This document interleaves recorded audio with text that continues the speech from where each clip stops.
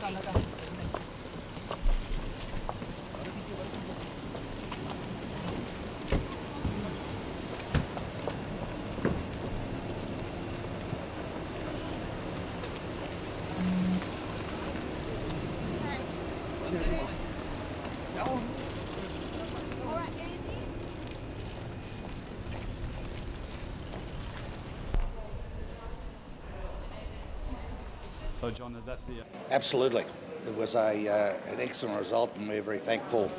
Um, there is no charge, there is no fine.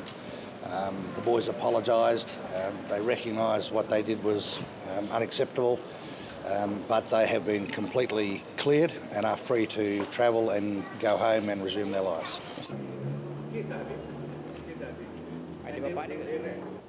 because the judge saw the point and granted the order of 173A, which is um, uh, an ad- ad- admonishment uh, and a discharge, which means the, uh, the charges are struck out.